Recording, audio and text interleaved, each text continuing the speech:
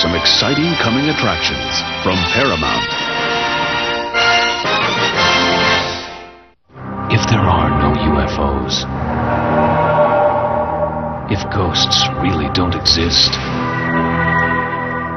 if angels are only a myth, then how do you explain the traces? How do you explain the sounds? And most of all, how do you explain the sightings?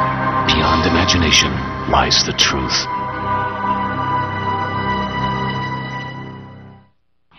Now you can take home three specially compiled editions of Sightings available only on home video. The UFO Report, The Ghost Report, and The Psychic Experience are just $14.95 each from Paramount Home Video.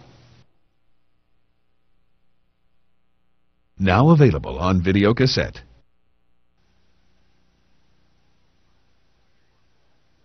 Sirius 4, you are cleared for deorbit. Copy traffic control. Sirius 4, ready for pre-ignition. Prepare for a journey to the outer limits of human understanding. Travel at the speed of imagination itself.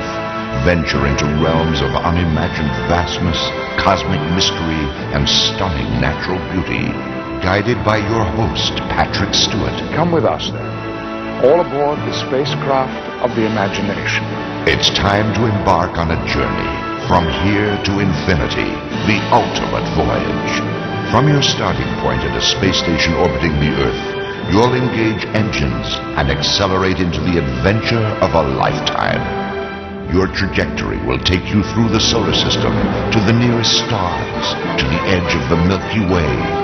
Plunging into the swirling vortex of a massive black hole, you'll make your way to the very edge of the universe and beyond. Powered by a stunning digital stereo soundtrack, From Here to Infinity is a uniquely produced tour of the wonders of space for adventure lovers of all ages. All brought to life by Patrick Stewart. From Here to Infinity, the ultimate voyage. Priced at only $14.95. On video now from Paramount Home Video. Now available on video cassette.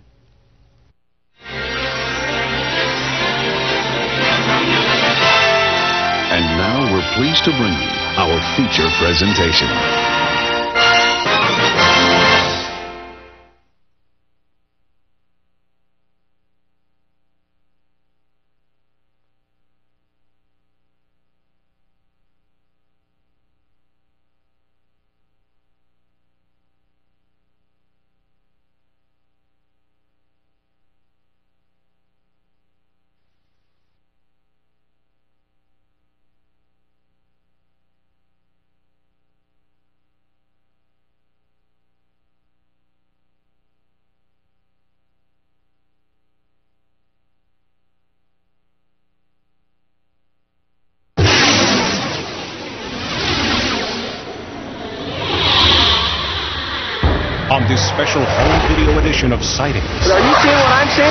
This thing zip back and forth? They're out there, and sightings are on the rise. Just like it was sliding through the sky, and it tilted like it was looking down at us. It was a bright light that dimmed down to a white speck. Ordinary people, astronauts, cosmonauts, even former presidents have all seen extraordinary craft doing extraordinary things. I happened to glance out one time, and there against the black sky was a was a white object at about a 45 degree angle. From the historic crash in Roswell, New Mexico, to unprecedented mass sightings going on right now in the skies over Mexico City, the evidence is mounting. We are not alone. My Uncle Ted was standing more over here, kind of leaned over like this, and we were talking to this creature.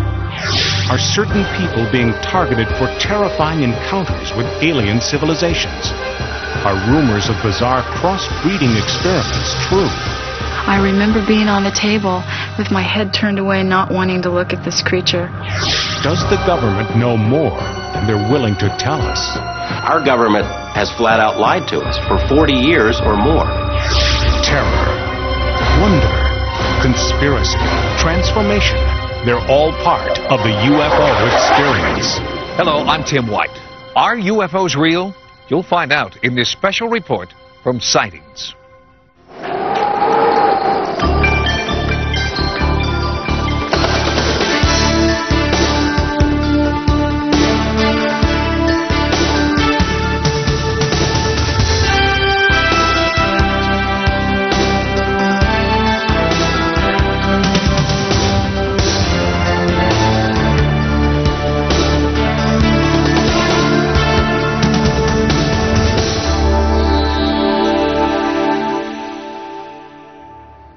In the vast expanse of space lie wonders unimaginable.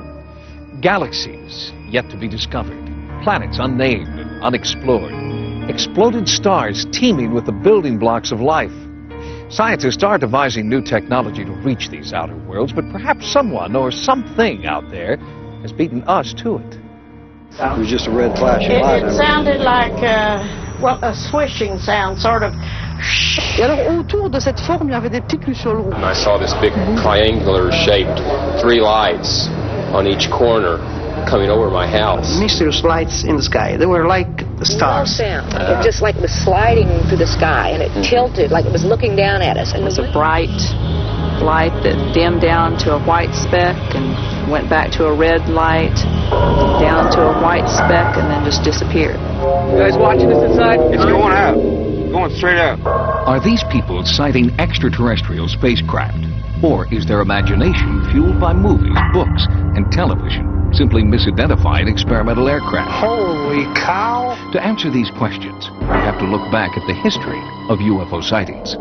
Cave art in Australia and the western United States, painted at least 5,000 years ago by prehistoric civilizations, seems to resemble modern descriptions of creatures from outer space. Halfway around the world, a 13th century fresco inside a church in Yugoslavia includes a flying vehicle.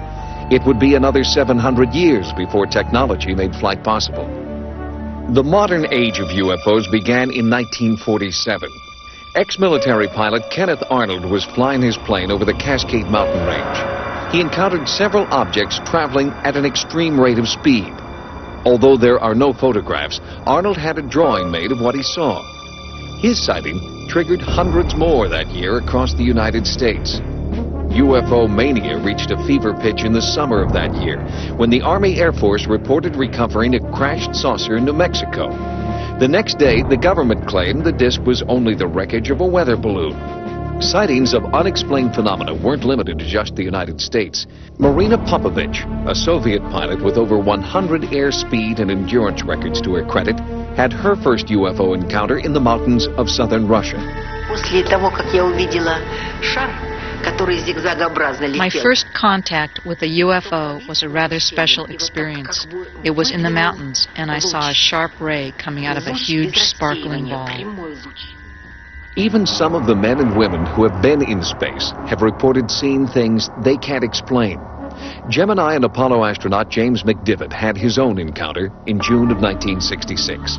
While in orbit above the Earth, an unidentified object outside the window caught his attention. I happened to glance out one time, and there against the black sky was a was a white object. Uh, geometry of it was sort of like a, a beer can or a Coke can with a with a pencil sticking out the one of the round edges at about a 45 degree angle. What was it? McDivitt did snap a few pictures, but after turning the film over to NASA, the film mysteriously disappeared. Was it a clerical error or evidence of a government conspiracy to hide the truth about what's really out there? A 1990 Gallup poll showed that nearly 50% of Americans believe in the existence of UFOs. This despite the fact that most photographs and film footage of the actual sightings are not very good. The images are scratched, out of focus, or the camera's just too far away to see things clearly.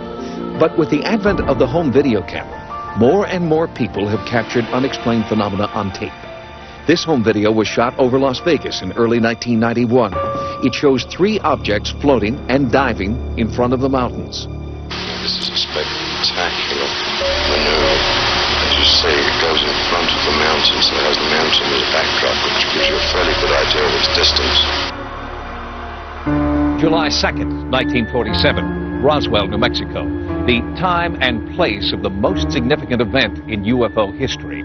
Something crashed on a remote sheep ranch and was confiscated by the military. But what crashed remains a mystery, fiercely debated for more than 50 years.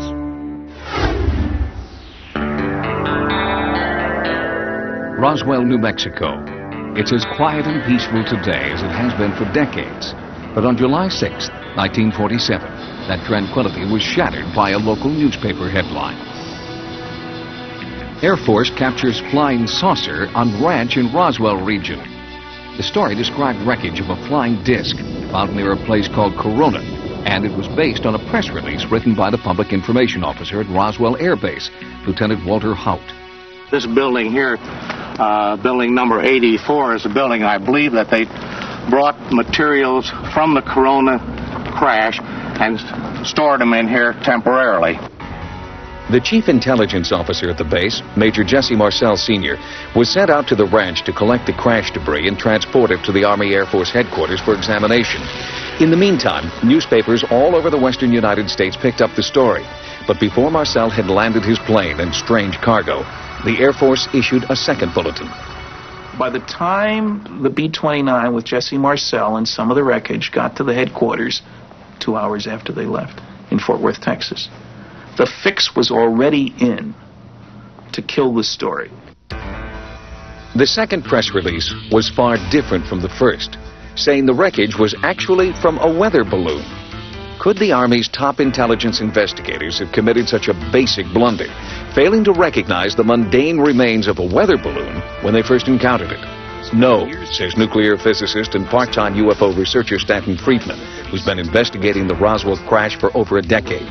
He says that while Marcel was in the air, the Roswell base commander, Brigadier General Roger Ramey, got orders from Washington to cover up the incident.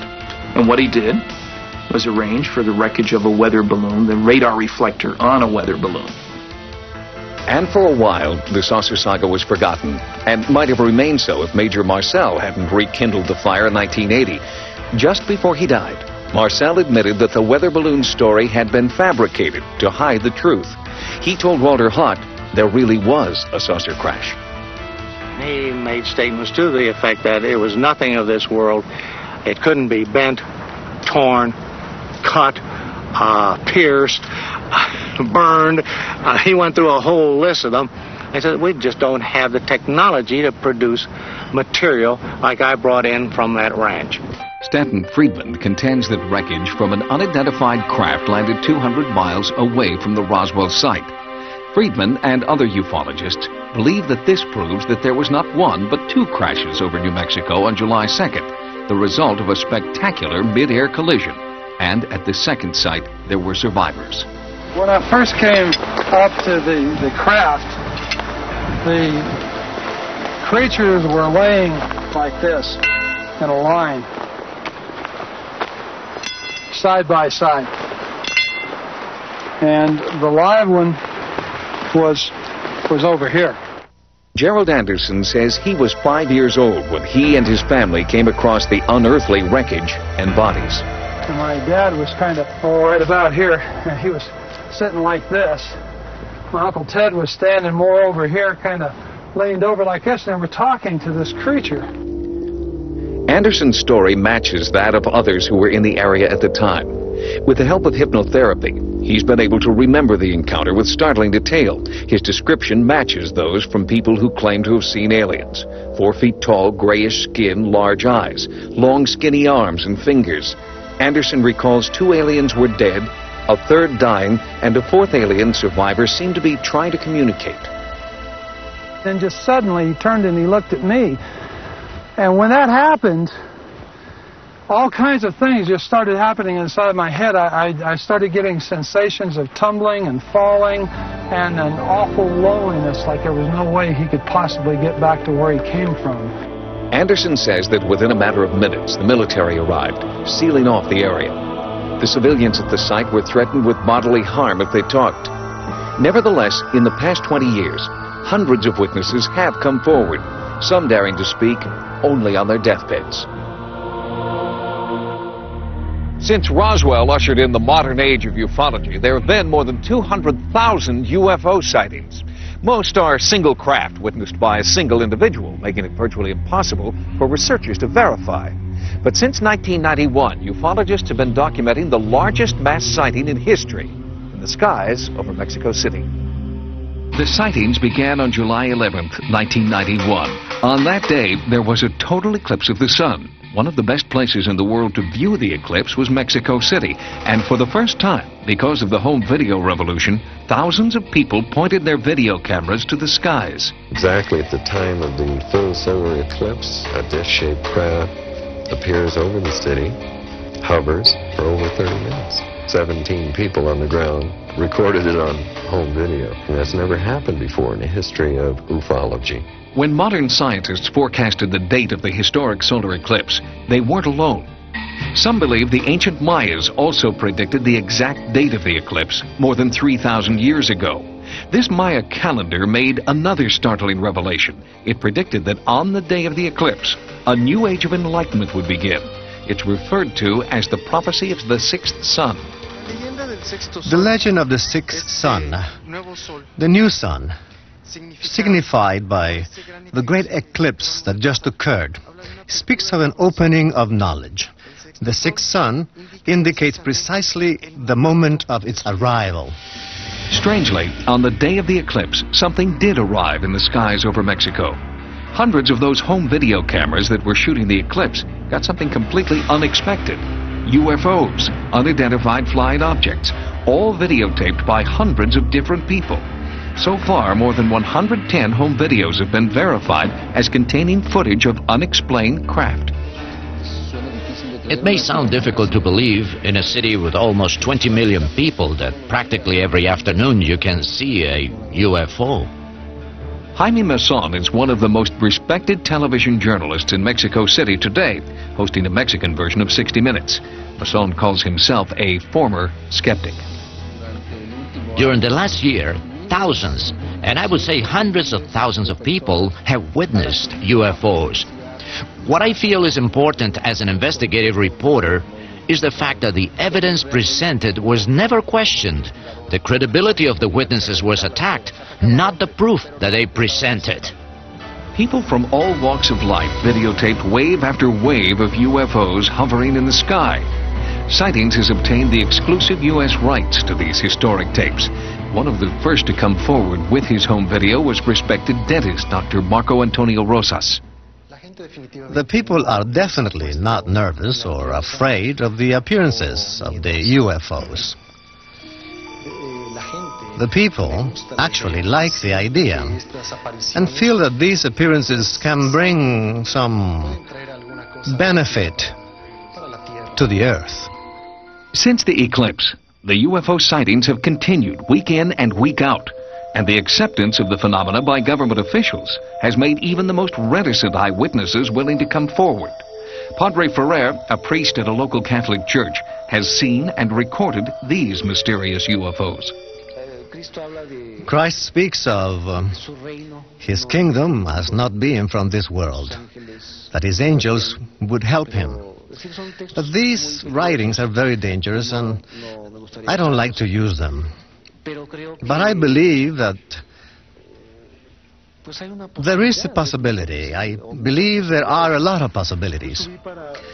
I came out to take a video of that pine tree against the light. When I came up, I saw the light appear over the mountain over there. It was not an ordinary light. It was um, blue and very intense. I've never been afraid of something like this. On the contrary, what I've been able to observe has been wonderful. Once a philosopher said, if God is outside of the truth, I'll stay with the truth. So I feel there is no contradiction. Unlike the U.S., where UFO controversy most often takes place outside the media mainstream, the Mexico mass sightings are discussed openly on national television. Not everyone agrees the UFOs are extraterrestrial craft. But in Mexico, healthy debate on the true origin of these UFOs is encouraged. So, to rule out the possibility that these UFOs are conventional aircraft or an organized hoax, we had our videotape footage analyzed by David Froning, retired chief scientist at a major aerospace firm. As far as the pictures of in-flight videos, that's about as good as I've seen. They demonstrate a, a, field propulsion and technology that's far beyond anything that I'm aware of that we have today. Most scientists look at these things as not that these are phenomena that violate uh, known physical laws, it's just that they're phenomena that our, our known laws cannot explain right now. If these craft do defy the laws of physics as we know them, could they be alien spacecraft? Do they pretend a visitation from an enlightened civilization, as some believe? The sightings continue to this day, and there is a growing grassroots movement working in Mexico to find out what or who is patrolling their skies. UFO experts who conduct serious research have a whole vocabulary to describe their formative science. One term you may not be familiar with is flap. A flap occurs when UFOs appear in waves over a specific area, as in Mexico City. The appearance of a flap has sinister overtones for ufologists. All around the globe, there are certain places that seem to act as natural UFO magnets. These areas are attracting flaps, or waves of UFOs, that may last for years. There are hotspots in Russia, Europe, and in South America, the heavily populated city of Sao Paulo has had hundreds of sightings by thousands of people. These flaps have prompted researchers to try to find a common pattern or motive. Anybody who studies this soon becomes almost desperate to understand a pattern or to impose some purpose on the phenomenon. In the United States, sightings are widespread and occur almost nightly.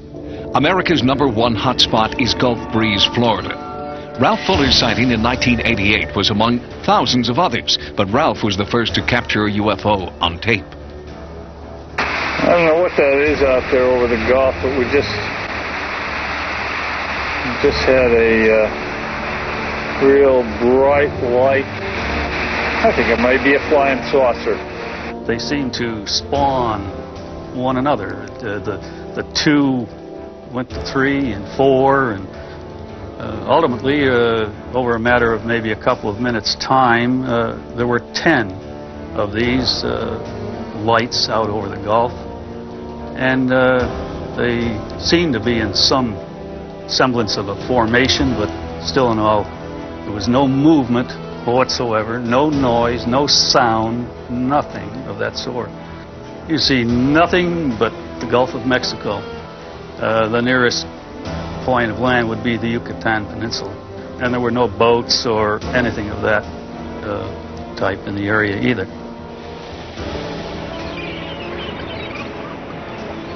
These are sky watchers, amateur UFO enthusiasts in the Gulf Breeze area who go out almost every night of the week with cameras and binoculars in search of UFOs.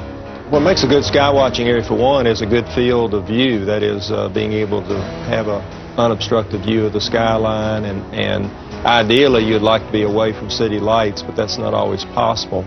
So we go out in the evening uh, and take our chances and you may have a relaxing evening uh, out under the stars, and, and then you may be blessed with a sighting. We just never know.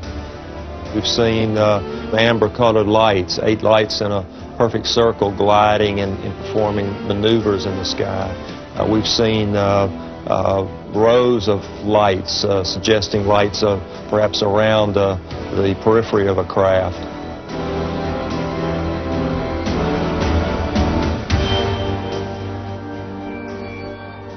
There are UFO hotspots all over the country.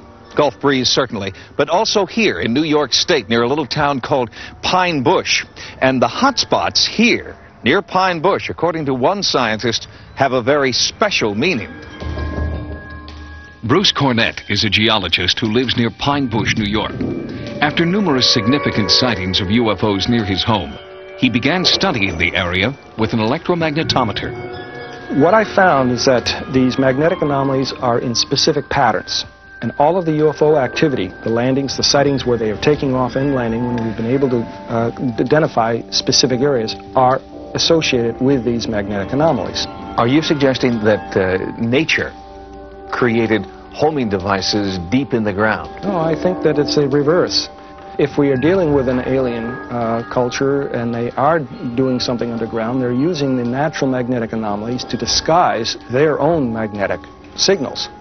Are you saying there are, or could be, aliens in the Earth? I'm not saying it's certain. It is definitely possible, based on what I've seen.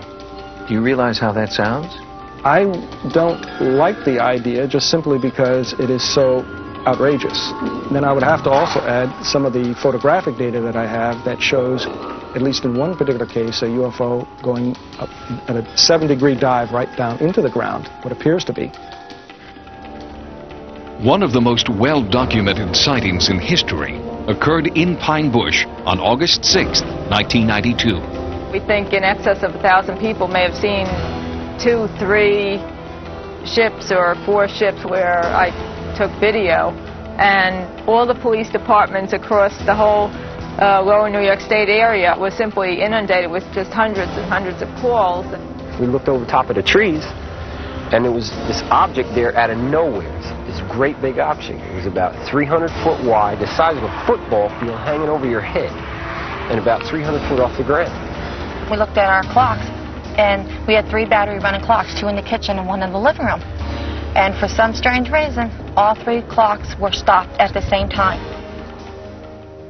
Just about everyone in Pine Bush has seen a UFO. In his barbershop, Butch Hunt hears a lot of stories from eyewitnesses about strange alien encounters. About 60% of the people around here, I, I think, have seen something. And some talk about it and some don't. They're just afraid to talk about it. Afraid of ridicule and intimidation.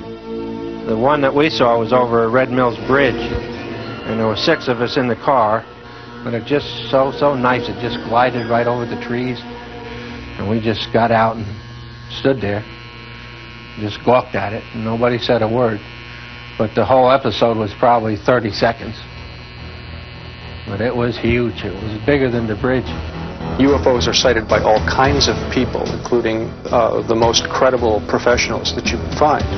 In addition, when we have multiple witnesses we can, who all tell the same story, uh, then we can say, well, that's probably a pretty good report. If we have enough detail in a given report that we can rule out all of the uh, normal explanations, it's not the planet Venus, it's not the aurora borealis or a meteor, it's not an aircraft that we can name, uh, then we are talking something fairly credible. If these mysterious craft are being piloted by an alien civilization, what is their mission? Why Earth? And why now? There are growing numbers of people, now in the thousands, who believe that they've been abducted, manipulated, and then released by aliens. It sounds ridiculous until you hear their stories. I looked up in my rearview mirror and lights were coming down out of the sky. I walked out to the edge of the water and I noticed this huge, shining thing. I was so terrified looking into these big black eyes and these little creatures. I was thinking I could just raise my fist and crush his head. And exactly at that moment, I became paralyzed. The visions often come during sleep. Nightmares about being abducted, probed, and prodded by aliens who have sinister motives. Hundreds of people have come forward to talk about their disturbing experiences and admit that they think their nightmares are real. Experts believe that there are thousands, perhaps even millions more just like them, who are too afraid to talk. We have hundreds and thousands of people who are coming forward and saying that the abduction phenomenon has happened to them, that they've experienced it, and basically they say the same thing as everybody else has said, and until recently, there was no possibility that they could have picked up these stories in the media. Since she was a baby, commercial photographer Kim Carlsberg has been plagued by memories of abduction. At 4.30 in the morning, I saw this image of these four beings just move through this wall. They just, like it wasn't there. And they came over to me, two at my feet, two at my head, and they started to lift me up to the ceiling. Bud Hopkins has been researching alien abduction reports for 26 years and is a firm believer. I'm the first to admit that all this sounds outrageous. It all sounds just crazy, and yet the evidence is there behind it. These particular problems could adequately be explained by the condition narcolepsy. This is a disorder characterized by hypnagogic hallucinations, that's hallucinations that occur at sleep onset, which can be very vivid um, and uh, uh, include the feeling of other people being present in the room or a sensation of levitation.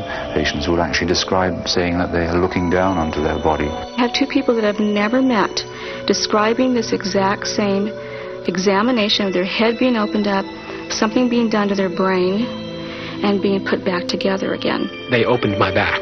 I knew my back was open because I could feel it was almost as though a slit had been drawn down my back and across to the side, and they had opened a flap of of flesh and, and tissue. Whether the reports come from adults or children, men or women, most of them follow similar patterns. There's a bright light that shines in the room. The abductee sees it. They hear a noise outside. They're not interested in your mate, they're interested in you. So what they do is they render the person that you're with unconscious. She goes up a beam of light with the alien into a hovering craft. If anyone well, goes into the room at that point, there's no one in the room. She's not in bed, in other words. Uh, the person is literally missing. You find yourself on a table and uh, these creatures around you with instruments and you have no idea what they're doing and, and they don't tell you. The focus of the entire enterprise seems to me to be unmistakably on reproductive issues. 90% of reported abductions involve descriptions of what experts call gray aliens, extraterrestrial creatures with oversized heads and dark almond-shaped protruding eyes. Less common are insect-like or reptilian creatures. The reptilian type has bothered a lot of people. It seems to be quite hostile and intrusive, often has claw-like hands, and I know there's one case where claw marks were photographed on the back of a woman. There's one being in particular that I always recognize, and he's not a gray. He's taller, he's thinner, He's got a bigger head. He's got bigger eyes. His limbs are very praying mantis-like. I remember being on a table with my head turned away, not wanting to look at this creature. And then when I looked at him, I just recognized him as the one that I hated. In a few cases, subjects claim to see hybrids, creatures who are half human, half alien. Some abductees believe they are being crossbred with aliens to create these hybrids. A very important part of the abduction phenomenon is that uh, there are reproductive procedures carried out upon them. I've been shown children, I've been shown babies. I've been asked to hold children and babies. I've been asked to give these children affection. And uh, these children aren't alien children and they're not human children. They're somewhere in between. I had a woman who had been to the doctor, had an ultrasound done. Her husband was there. Everyone observed at three months a healthy fetus. The next day she wakes up screaming they took it. Is so upset her husband takes her back to the doctor. He does a pregnancy test, finds out she's no longer pregnant. They do a D&C. There's nothing there. The most humiliating thing that happened to me is they put a cylindrical sort of thing over my genitals and it made me have an orgasm in a second. And I really feel like I'm one of those few men who knows what a woman feels like if she, when she's raped. I've been on a table and I've seen something removed from my body that I will call a fetus, a baby. It was so small I couldn't believe that it could live on its own. I remember putting my finger in the arch of its foot I was afraid to look at the face. I was afraid to see what it looked like. There seems to be an enormous interest in the emotional side of this, too, on the part of the aliens. They want us to hold these odd little children, these babies.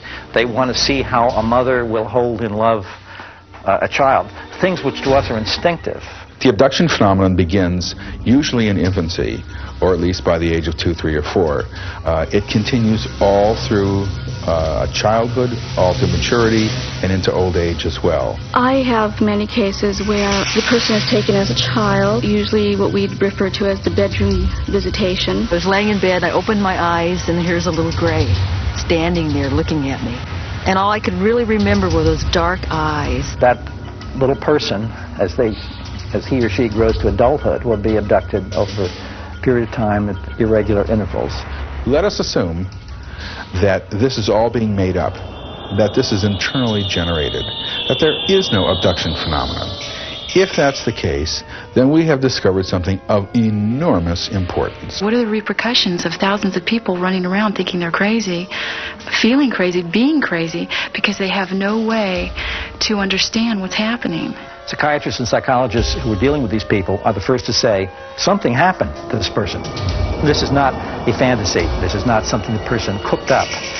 This was an event in that person's life which was truly uh, truly upsetting. These experiences are not pleasant experiences. This is not something I'm, I'm, I'm happy happened to me. There's a part of me that would love to find the answer that it was something else. One of the most important and controversial UFO sightings in U.S. history occurred in Kecksburg, Pennsylvania 1969. To this day, many researchers who've investigated this sighting believe it is a model for how our government maintains secrecy and disseminates disinformation about UFO sightings. Kecksburg used to be just like a lot of other small villages in western Pennsylvania. But in 1965, Kecksburg lost its anonymity when it became one of the world's most famous UFO landing sites. I happened to look up in the sky and I seen this red fireball. It, it sure wasn't a meteor, because I've seen them fall before. And I never seen any of them with blue lights on. And it looked like it made a, a turn and come back again. And when it come back, it seemed like it went down. It was December 9th, 1965, a night that many townspeople will never forget. I got my flashlight and I started down through the woods up to where it was at. There was no wings. There was uh, no tail section. There was no motors. There was no windows. There was no doors. It was big enough for a grown person to stand up in. It had like Egyptian writing, like backwards writing on it. Stars and circles and dashes and lines and things like that. It looked like uh, an acorn. It was really weird. Some claim the UFO wasn't the only thing to arrive that night. It wasn't too much longer. Uh, down through the woods come two gentlemen. The one gentleman, very ramrod straight, very authoritative voice, crew cut hair. I mean, he just reeked of military. He looked object and looked at us. He says, all right, this is now a restricted area. We're all ordered out of here. Some military people come to the house and said they'd like to use the phone. They, they sort of took the house over. We started talking among ourselves, what had, what's going on. About that time, up here on the road, comes a big flatbed truck in. The flatbed went down and empty, and it come back out with something on the back of it covered up about the size of a Volkswagen. That truck was hell-bent for leather, and if you'd have walked out on that road, you'd have still been there, because they'd have scraped you up with a putty knife. They weren't stopping for anything or anybody. And that began the real mystery of this whole thing. 27 years later, what happened down there in that woods surrounded by fields, if anything happened down there at all, is still a matter of bitter controversy. You've got this town split into two groups. You got the believers and the non-believers. There's been some friendship lost, and, and it's, it's foolish as far as I'm concerned. I have a brother-in-law that uh, he hadn't spoke to me for two years, said that I lied about everything, but I never lied about a thing. You got neighbors and neighbors that has known each other all their life. Now they don't want to talk because one believes it and one don't believe it. Just as the town is divided, so too are experts who have researched what really happened in Kecksburg. Planetary expert Robert Young believes that some citizens may have perpetrated a hoax. He claims the UFO was merely a meteor known to have passed over Ontario and several northern states that evening. Virtually all of the accounts can be explained by people having looked toward and seeing the Ontario meteor. How about the accounts, though, of the military that turned out in large numbers, kept people away from going down there, a truck that went down into the area and came out. You got eyewitnesses that say, this happened. Right. I, I understand it. I've, uh, I have uh, written, signed eyewitness accounts from 61 local people who say that that did not, that there was nothing crashed here, was recovered, there was no military occupation. A lot of people probably think you're the government. Well, sure, yeah, but I'm not. I don't know how some people can say that nothing ever happened when there were so many people that saw things that night. Something had to happen. I know what I saw, and I'm not going to deny it. They can tell me I'm lying, but I know that I seen the military in my house that night. Freedom of Information Act states there was 212 military personnel here that night. Sightings attempted to speak with the Kecksburg residents who deny anything extraterrestrial ever happened here, but they all refused our invitation to talk. Even the landowner whose property was the alleged crash site remained silent. I think the government bought them off, or threatened them with something that got them scared half to wits. Ironically, their refusal to talk has only deepened the controversy. UFO researcher Stan Gordon heard about the Kecksburg incident on the radio the night it allegedly happened in 1965. He's been investigating the sighting ever since. So much of what we know about the case now, we've learned since about 1987 with the fact that now we have at least four different eyewitnesses who apparently saw the object on the ground at Kecksburg. The fact that there are dozens of people independent of each other who don't even know each other yet who have given us detailed information about what they experienced and saw that night.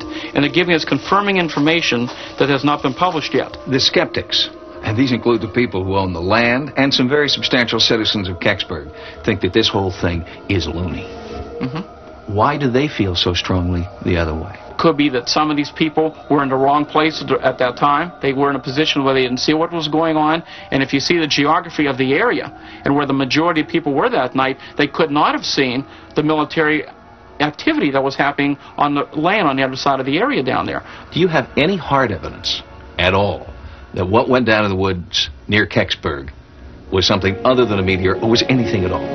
Unfortunately not. As in so many of these cases, you have to go by the eyewitness accounts. And in this case, the eyewitness accounts are very, very strong. And uh, again, unfortunately, we don't have that type of information of if this was the case, whether it be a space probe or in other UFO cases. Sure, if we had the physical hardware, the mystery would be over. What do you think it is? What do I think it is? At this point, and again, this is not conclusive, at this point, the weight of evidence would point in the direction that this may have been a Soviet space probe. If the object were proven to be a Soviet space probe, then many questions would be answered. If a Soviet device landed in Kecksburg, the government would have been required by international treaty to recover and return immediately any space debris to the country of origin. But retired Army Sergeant Clifford Stone doesn't believe the Soviet probe theory. If this was of Soviet origin in 1965, the State Department would have released documentation to me under their Moondust files. To date, none of that information has been forth. Clifford Stone collects government documents about space debris recovery operations, like Project Moondust and Project Blue Fly. He began his investigations in 1965 when, as an Army sergeant, he witnessed a top secret delivery to Lockbourne Air Force Base, about 200 miles from Kecksburg. I noticed that on the back of the vehicle it had something that was covered by a tarp. It was about uh, 10 to 12 foot at the base, 12 foot tall. It looked like a chocolate drop. When my friend told me that uh, every question I ever had about UFOs was under that canvas, I was mystified. Since that time, Stone has repeatedly attempted to obtain information from the government regarding that object. Each time, the government's response has been the same. They have taken the stance, by direction of the President of the United States, we may neither confirm nor deny the existence or non-existence of any information that all involve the recovery of unknowns. Kecksburg remains a town divided. The only thing on which believers and non-believers can agree is that all they want to know once and for all is what really happened on December 9th, 1965. What would you like to see happen next? It's time now for 27 years that the public has the right to know the true facts regardless of what the object was or what really occurred. Something came down. From numerous eyewitness accounts, there was a lot of military activity into the small village. Then an object was located, that it was recovered, it was transported away for study. What was the object and why after 27 years haven't they revealed what really was found? Until authenticated debris is collected and publicly displayed, the validity of the UFO phenomenon rests entirely with the credibility of its eyewitnesses. Ufologists know this and have spent many years collecting sightings reports from the most credible eyewitnesses of all, military pilots. Unfortunately, these pilot reports remain unconfirmed because military personnel in this country refuse to talk on the record. But in Russia, one former Soviet pilot is talking. In 1991, a pilot in Russia came forward and told of a frightening UFO encounter. Risking ridicule, Maxim Cherbakov was determined to tell what he maintains is the true story of his bizarre experience. At 19, Cherbakov was one of the rising stars in the Soviet Military Flight Academy and became the Russian equivalent of a top gun. His flying record was impeccable until August 1991. Then, on two separate occasions, he had strange mechanical malfunctions in his jet aircraft. On one occasion, he was forced to eject. An investigation of that incident concluded that Cherbakov had acted calmly and rationally. But 12 days later, a third incident would change Cherbakov's life forever. 28 August. 20th August, second shift. I made two flights with my commander and third flight I made on my own. I gained an altitude of 3,900 meters. Then suddenly, I saw a ball in front of me, about 20 degrees to the right. He watched the object for several seconds. Then, as it came toward him, Cherbakov tried to radio the base. The light from the UFO was blinding. A sense of unexplainable fear came over me. On the back of my head, I began experiencing warmth. I felt as if someone was present and watching me. My movements were under control, controlled by someone other than me. Cherbakov claims the reddish-yellow object started maneuvering around the aircraft. For several minutes, it kept up with the jet's airspeed and mimicked its movements. During that time, Cherbakov was unable to communicate with his base commander. The radio emitted only a squealing sound. Pilot Cherbakov's description of the UFO moving relative to his own airplane is really quite common. Dr. Richard Haines has documented over 3,000 pilot sightings of UFOs. I have thousands and thousands of cases of pilots in daylight encounters with structured objects in the sense of having three-dimensional mass, in the sense of having aerodynamic kinds of, of uh, uh, flight behavior relative to the aircraft. And so what he describes here fits in very nicely to what I have from hundreds of other pilots around the world. Suddenly, in rapid-fire succession, the generator in Cherbakov's jet failed. The instruments indicated a fire on board, and the cockpit filled with smoke. The base commander ordered Cherbakov to eject. I began arguing with the commander because the plane was still above the residential area. My altitude began to drop rapidly. I had to pull the plane out of a nose dive. At the altitude of 1,000 meters, I finally cleared the residential area and I ejected. Four seconds later, the plane exploded. Cherbakov landed safely in a field and was rescued an hour later by a military helicopter. While officials combed the wreckage of the jet, Cherbakov was examined at a military hospital. An intensive three-day interrogation followed.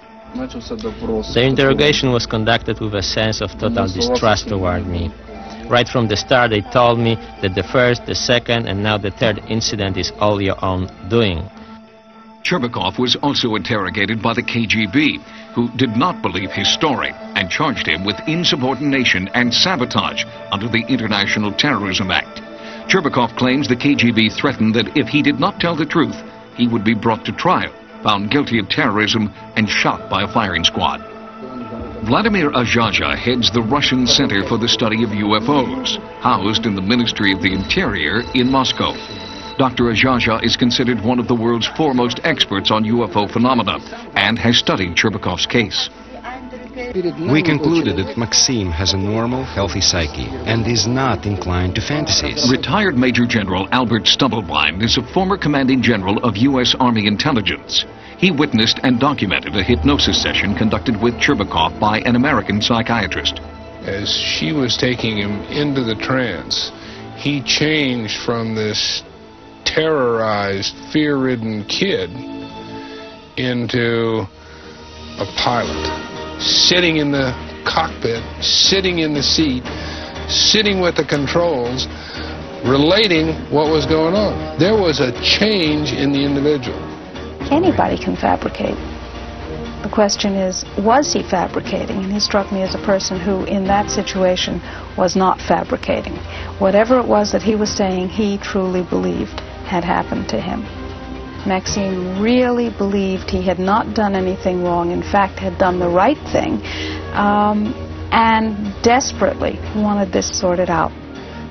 Although affidavits to that effect were presented at his court-martial hearing, the court still blamed Cherbakov for the destruction of his aircraft. But the military prosecutor admits that some of the evidence of Cherbakov's innocence was very convincing. From the beginning, I had doubts about the truthfulness of Cherbakov's statement. But after questioning his mother, his comrades, and his superiors, I became convinced that Cherbakov had an encounter with a UFO. In January 1992, the case against Maxim Cherbakov was dropped. But despite this vindication, he was not welcomed back into the military. There is no training for pilots to deal with such encounters. The older pilots told me that a lot of encounters happen, but they don't speak about them.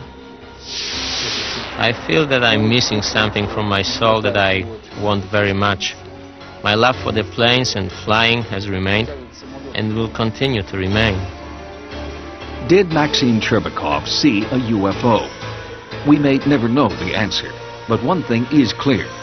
Maxim Cherbakov ejected only after he saw that his jet would avoid populated areas below. Many in Russia suggested that Cherbakov should be awarded a medal for heroism. The United States Air Force admits that between 1952 and 1969 they conducted a study, codenamed Project Blue Book. Its purpose was to determine if UFOs posed a real threat to the American people. Project Blue Book concluded they did not, and since 1969, the Pentagon has denied participating in any other UFO study. But ufologists believe this is a lie. They point to evidence of a monumental conspiracy designed to hide what the government knows and when it knew it. Our government has flat out lied to us for 40 years or more. They've threatened people and intimidated people. They've spied on UFO groups, infiltrated UFO groups, spied on researchers, compiled dossiers. Their response is bordered on paranoia. In 1988, reporter George Knapp of Las Vegas CBS television station KLAS began investigating the U.S. government's involvement with UFOs. He says he's found evidence proving a massive cover-up that began in 1947 and continues to this day. The CIA says that it does not collect information on UFOs, and it hasn't since the 50s. There are reams of documents squeezed out of the CIA that indicate that they have on staff CIA UFO experts, agency personnel monitoring the situation on an ongoing basis. The FBI denied having any documents on UFOs in the 1970s, the early 1970s. Three years later, they released 1,700 pages of information on UFOs, documents that they had. They lie. But for UFO researchers, there is one persistent problem with those hundreds of released pages.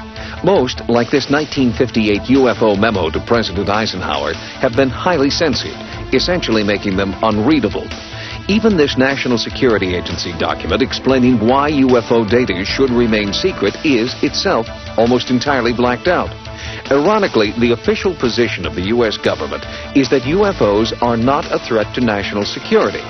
Yet the agencies involved claim the censored information is vital to national security. From 1947 to 1969, the Air Force conducted Project Blue Book. Staffed with just three people, it studied 12,000 UFO sightings. All but 701 were explained to the military satisfaction. And the group that remained unexplained? It does not contain any pattern of purpose or of consistency that we can relate with any, to any conceivable threat to the United States. The Air Force closed Blue Book in 1969, but project critics weren't satisfied. The first person to head it up, Captain Edward J. Ruppelt, quit in disgust, wrote his own book, and declared that there was something to UFOs, and the Project Blue Book was nothing more than a whitewash. Other government officials, including the senator and two former presidents, have tried unsuccessfully to shed some light on the UFO phenomenon. Arizona Senator Barry Goldwater, President Gerald Ford, and President Jimmy Carter, who actually saw a UFO himself and filed a formal report, have all sought to have top secret UFO information released to the public. All requests for that information were denied. Cover-up allegations aren't limited to the United States government either. Author Timothy Good claims that governments around the world are keeping UFO information top secret. And in his book, Above Top Secret, he claims only an elite few have access to that information. Because so little of the research is made known to top ministers. One country is bucking that trend. Belgium has acknowledged tracking unidentified, seemingly intelligently controlled craft in its airspace.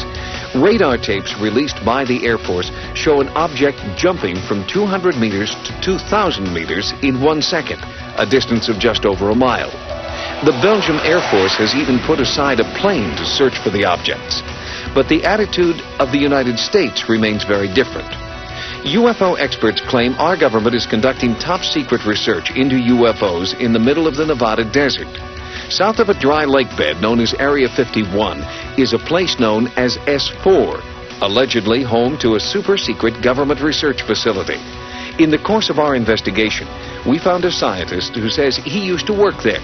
Robert Lazar was shocked when he first discovered what it was he would be working on. I got out of the bus. I was told to walk directly through the hangar, and uh, immediately, uh, even before entering the hangar, you can see the edge of a disc. Uh, this is your classic flying saucer, two inverted pie plates, if you wish, uh, with a segmented larger area dome on top. Within minutes of that, I finally realized that this had nothing to do with something the government was producing. And it was quite shocking because everything inside was small. This is a full-size craft, 30, 35 feet in diameter, maybe 40. Uh, but you're looking at at uh, seats that are, you know, 18 inches off the ground, obviously made, you know, for, for something smaller. And certainly wasn't made for children to play in. Lazar says there were nine spaceships in all, and he claims to have seen one fly. It began to lift off the ground almost silently. There was a hiss sound, uh, like a corona discharge, if you hear around high voltage systems, uh, accompanied by a faint, it probably would have been brighter at, at night, a faint uh, blue glow around the bottom. As the craft approached about 30 feet, 20 feet, something like that off the ground, uh, that corona discharge disappeared. Uh, the sound stopped, and the craft stood there silently and uh, slowly drifted over to the left and then to the right.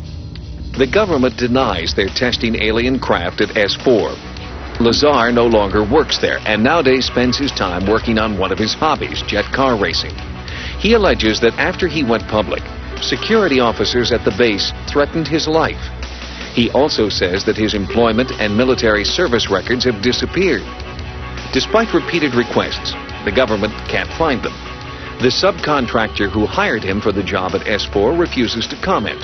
But a few clues support Lazar's contention that he is a scientist and that he has worked for the government.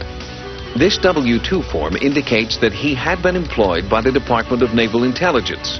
Before his stint at S4, Lazar claims to have worked at the Los Alamos National Laboratory.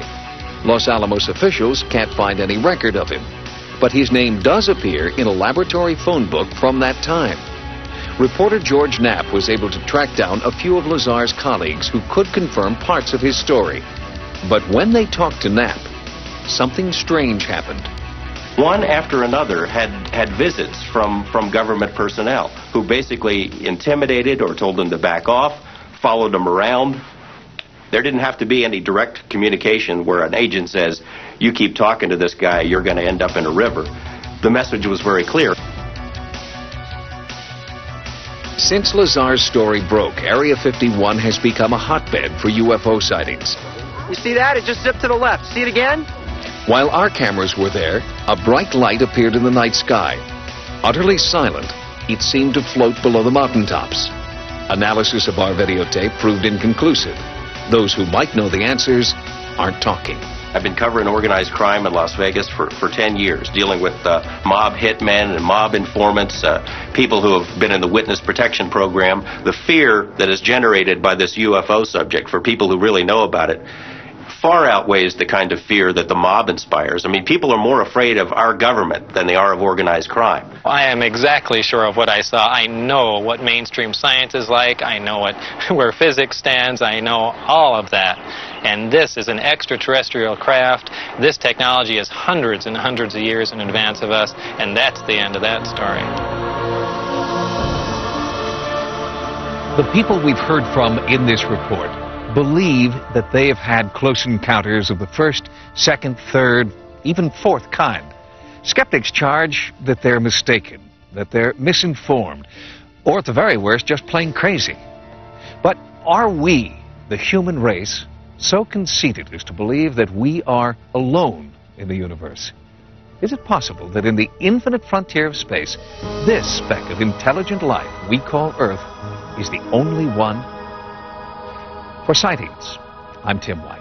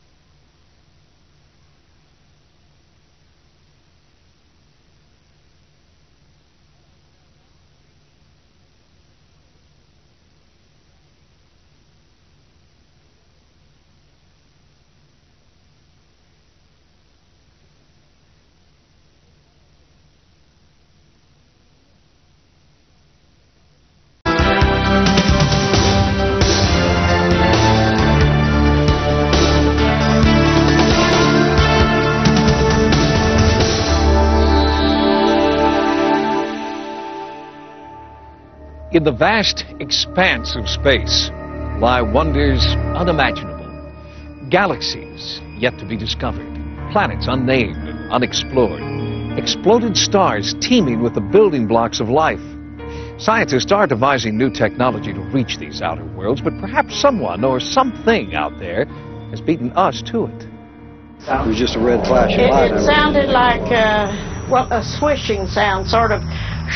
Et alors autour de cette forme, il y avait des petits lucioles rouges. And I saw this big triangular shaped three lights on each corner coming over my house. Mysterious lights in the sky. They were like No stars. sound. it uh, just like was sliding through the sky, and it mm-hmm. tilted like it was looking down at us. And it was a bright light that dimmed down to a white speck and went back to a red light, down to a white speck, and then just disappeared. You guys watching this inside? It's going out. Going straight out. Are these people sighting extraterrestrial spacecraft? Or is their imagination fueled by movies, books, and television simply misidentified experimental aircraft? Holy cow! To answer these questions, we have to look back at the history of UFO sightings. Cave art in Australia and the western United States, painted at least 5,000 years ago by prehistoric civilizations, seems to resemble modern descriptions of creatures from outer space. Halfway around the world, a 13th century fresco inside a church in Yugoslavia includes a flying vehicle. It would be another 700 years before technology made flight possible. The modern age of UFOs began in 1947. Ex-military pilot Kenneth Arnold was flying his plane over the Cascade Mountain Range. He encountered several objects traveling at an extreme rate of speed. Although there are no photographs, Arnold had a drawing made of what he saw. His sighting triggered hundreds more that year across the United States. UFO mania reached a fever pitch in the summer of that year when the Army Air Force reported recovering a crashed saucer in New Mexico. The next day, the government claimed the disk was only the wreckage of a weather balloon. Sightings of unexplained phenomena weren't limited to just the United States. Marina Popovich, a Soviet pilot with over 100 airspeed and endurance records to her credit, had her first UFO encounter in the mountains of southern Russia. После того, как я увидела шар, который зигзагообразно летел. my first contact with a UFO was a rather special experience. It was in the mountains, and I saw a sharp ray coming out of a huge sparkling ball. Even some of the men and women who have been in space have reported seeing things they can't explain. Gemini and Apollo astronaut James McDivitt had his own encounter in June of 1966. While in orbit above the Earth, an unidentified object outside the window caught his attention. I happened to glance out one time, and there against the black sky was a was a white object. Uh, geometry of it was sort of like a, a beer can or a Coke can with a with a pencil sticking out the one of the round edges at about a 45 degree angle. What was it? McDivitt did snap a few pictures, but after turning the film over to NASA, the film mysteriously disappeared. Was it a clerical error or evidence of a government conspiracy to hide the truth about what's really out there? A 1990 Gallup poll showed that nearly 50% of Americans believe in the existence of UFOs. This despite the fact that most photographs and film footage of the actual sightings are not very good. The images are scratched, out of focus, or the camera's just too far away to see things clearly. But with the advent of the home video camera, more and more people have captured unexplained phenomena on tape. This home video was shot over Las Vegas in early 1991. It shows three objects floating and diving in front of the mountains. This is a spectacular maneuver. As you say, it goes in front of the mountains so it has the mountain as a backdrop, which gives you a fairly good idea of its distance. July 2nd, 1947, Roswell, New Mexico, the time and place of the most significant event in UFO history. Something crashed on a remote sheep ranch and was confiscated by the military. But what crashed remains a mystery, fiercely debated for more than 50 years.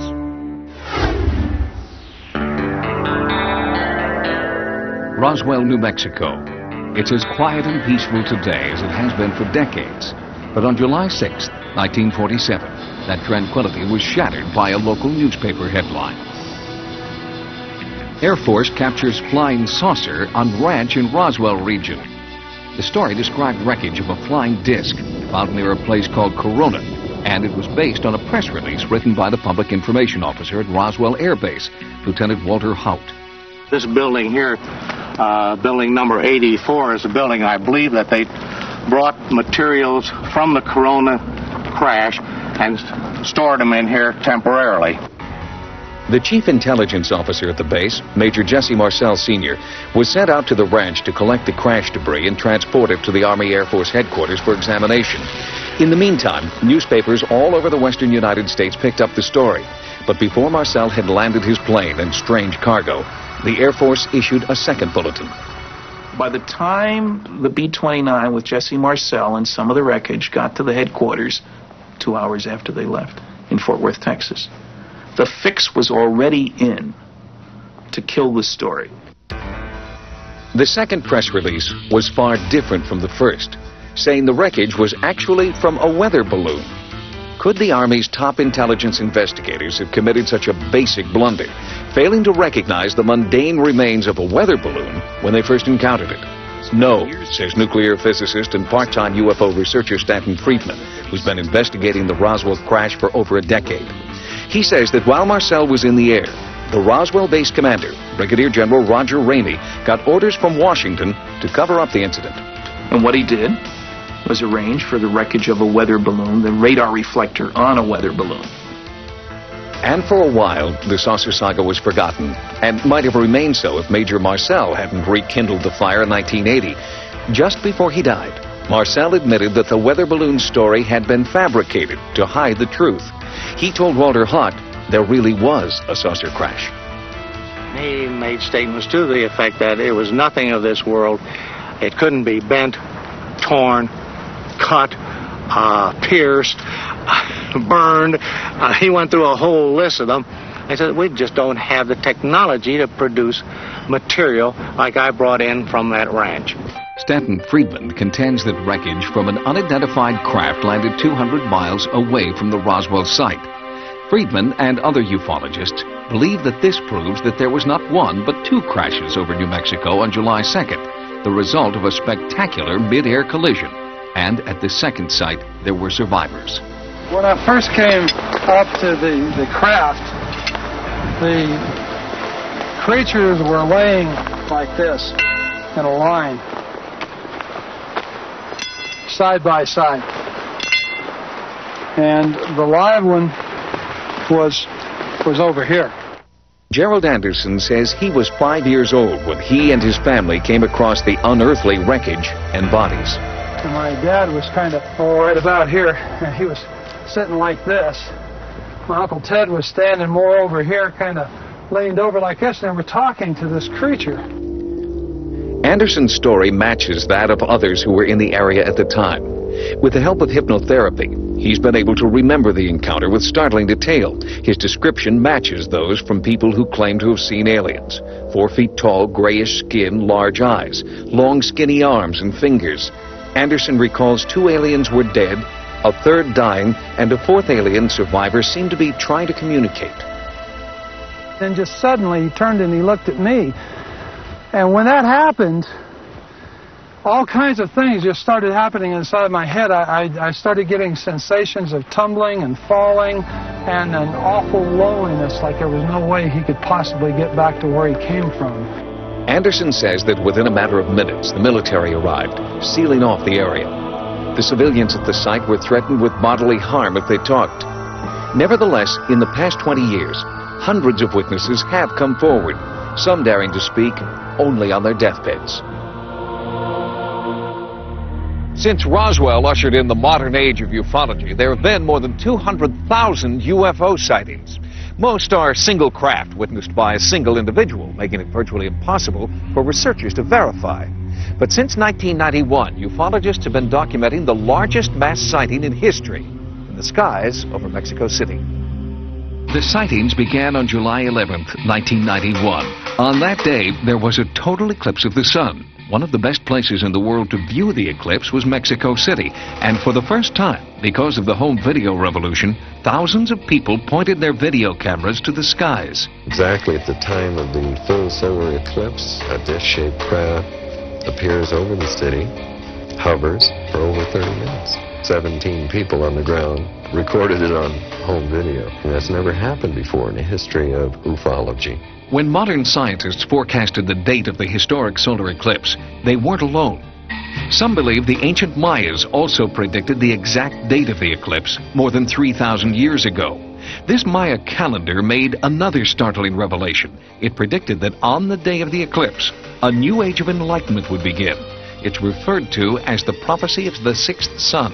The legend of the sixth sun, the new sun, signified by the great eclipse that just occurred, speaks of an opening of knowledge. The sixth sun indicates precisely the moment of its arrival.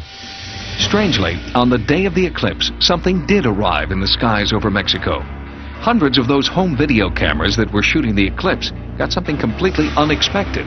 UFOs, unidentified flying objects, all videotaped by hundreds of different people. So far, more than 110 home videos have been verified as containing footage of unexplained craft. It may sound difficult to believe in a city with almost 20 million people that practically every afternoon you can see a UFO. Jaime Maussan is one of the most respected television journalists in Mexico City today, hosting a Mexican version of 60 Minutes. Maussan calls himself a former skeptic. During the last year, thousands, and I would say hundreds of thousands of people have witnessed UFOs. What I feel is important as an investigative reporter is the fact that the evidence presented was never questioned. The credibility of the witnesses was attacked, not the proof that they presented. People from all walks of life videotaped wave after wave of UFOs hovering in the sky. Sightings has obtained the exclusive U.S. rights to these historic tapes. One of the first to come forward with his home video was respected dentist Dr. Marco Antonio Rosas. The people are definitely not nervous or afraid of the appearances of the UFOs.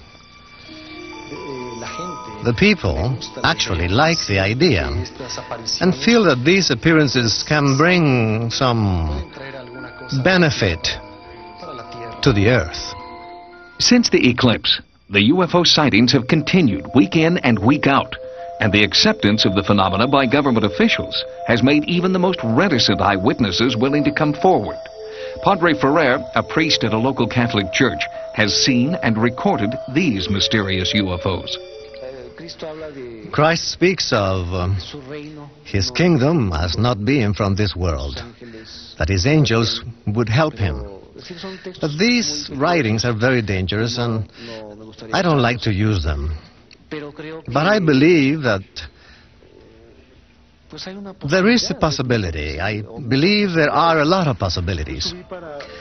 I came out to take a video of that pine tree against the light. When I came up, I saw the light appear over the mountain over there. It was not an ordinary light. It was um, blue and very intense. I've never been afraid of something like this. On the contrary, what I've been able to observe has been wonderful. Once a philosopher said, if God is outside of the truth, I'll stay with the truth. So I feel there is no contradiction. Unlike the U.S., where UFO controversy most often takes place outside the media mainstream, the Mexico mass sightings are discussed openly on national television.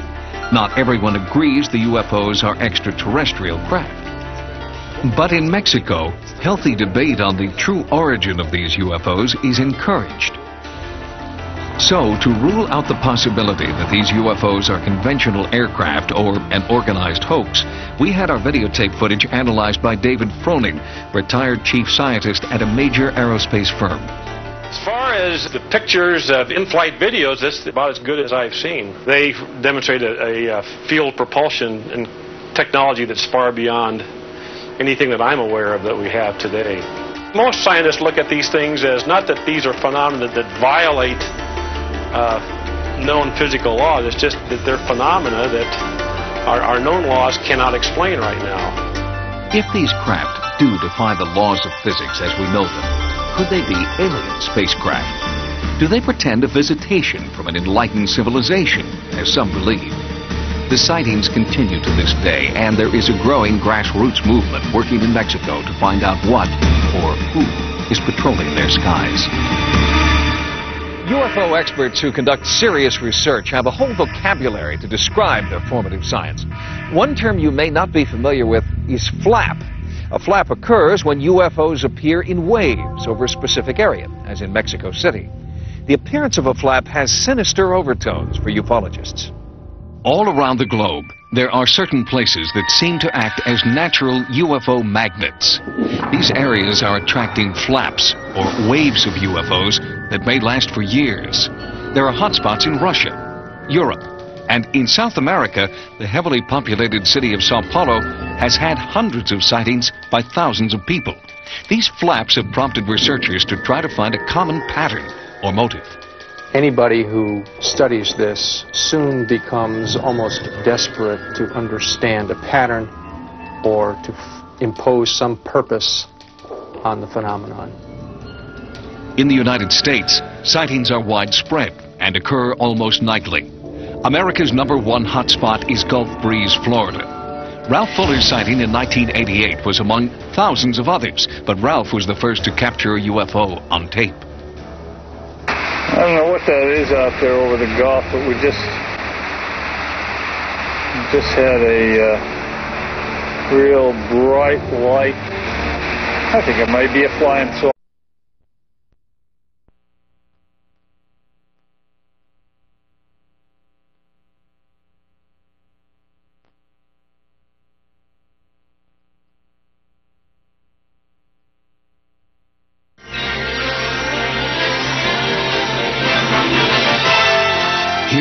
Exciting coming attractions from Paramount. If there are no UFOs, if ghosts really don't exist, if angels are only a myth, then how do you explain the traces? How do you explain the sounds?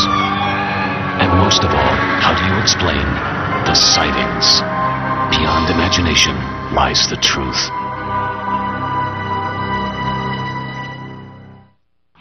Now you can take home three specially compiled editions of Sightings available only on home video.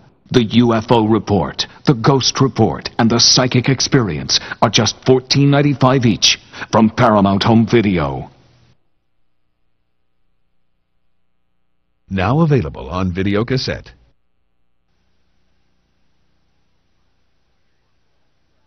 Sirius 4, you are cleared for deorbit. Copy traffic control. Sirius 4, ready for pre-ignition. Prepare for a journey to the outer limits of human understanding. Travel at the speed of imagination itself. Venture into realms of unimagined vastness, cosmic mystery, and stunning natural beauty. Guided by your host, Patrick Stewart. Come with us, then. All aboard the spacecraft of the imagination. It's time to embark on a journey from here to infinity, the ultimate voyage.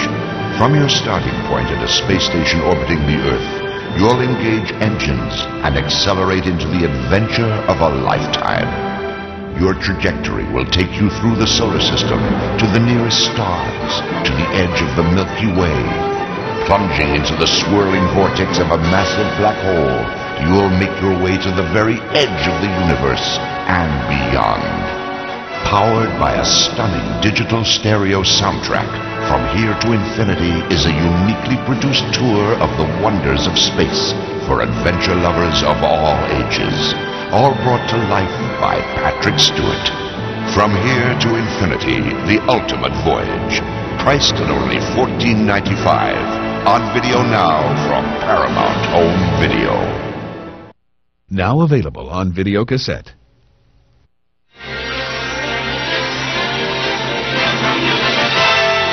And now we're pleased to bring you our feature presentation.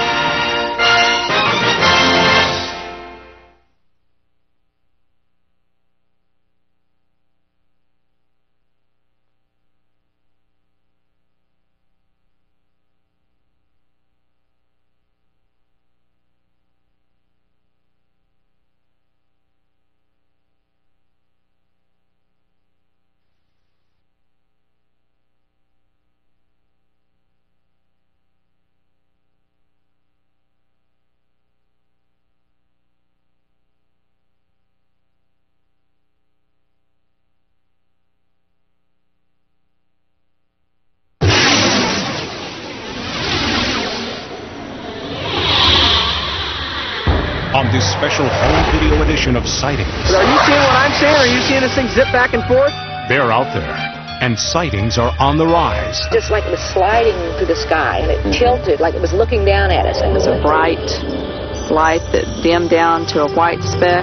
Ordinary people, astronauts, cosmonauts, even former presidents have all seen extraordinary craft doing extraordinary things. I happened to glance out one time, and there against the black sky was a was a white object at about a 45 degree angle. From the historic crash in Roswell, New Mexico, to unprecedented mass sightings going on right now in the skies over Mexico City, the evidence is mounting. We are not alone. My Uncle Ted was standing more over here, kind of leaned over like this, and we were talking to this creature. Are certain people being targeted for terrifying encounters with alien civilizations? Are rumors of bizarre crossbreeding experiments true? I remember being on the table with my head turned away, not wanting to look at this creature. Does the government know more than they're willing to tell us? Our government has flat out lied to us for 40 years or more. Terror, wonder, conspiracy, transformation. They're all part of the UFO experience. Hello, I'm Tim White. Are UFOs real? You'll find out in this special report from Sightings.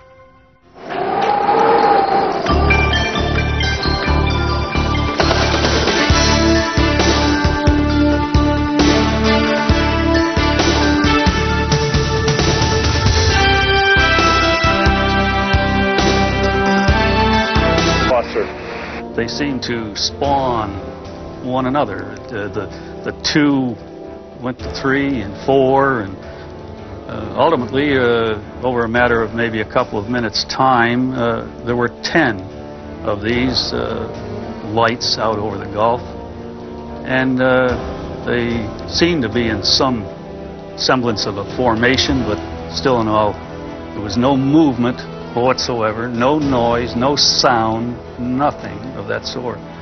You see nothing but the Gulf of Mexico.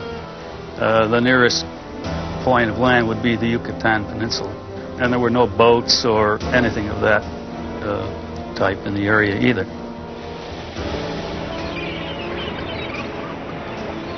These are sky watchers, amateur UFO enthusiasts in the Gulf Breeze area who go out almost every night of the week with cameras and binoculars in search of UFOs. What makes a good sky watching area for one is a good field of view, that is uh, being able to have a unobstructed view of the skyline and, and ideally you'd like to be away from city lights but that's not always possible. So we go out in the evening uh, and take our chances and you may have a relaxing evening uh, out under the stars and, and then you may be blessed with a sighting. We just never know. We've seen uh, amber-colored lights, eight lights in a perfect circle gliding and, and performing maneuvers in the sky. Uh, we've seen uh rows of lights, uh, suggesting lights perhaps around uh, the periphery of a craft.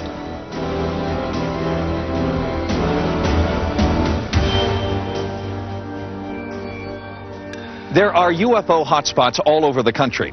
Gulf Breeze, certainly, but also here in New York State near a little town called Pine Bush. And the hotspots here near Pine Bush, according to one scientist, have a very special meaning. Bruce Cornett is a geologist who lives near Pine Bush, New York. After numerous significant sightings of UFOs near his home, he began studying the area with an electromagnetometer. What I found is that these magnetic anomalies are in specific patterns. And all of the UFO activity, the landings, the sightings where they are taking off and landing, when we've been able to uh, identify specific areas, are associated with these magnetic anomalies. Are you suggesting that uh, nature created homing devices deep in the ground? No, I think that it's a reverse. If we are dealing with an alien uh, culture and they are doing something underground, they're using the natural magnetic anomalies to disguise their own magnetic signals. Are you saying there are, or could be, aliens in the Earth? I'm not saying it's certain. It is definitely possible, based on what I've seen. Do you realize how that sounds? I don't like the idea just simply because it is so outrageous.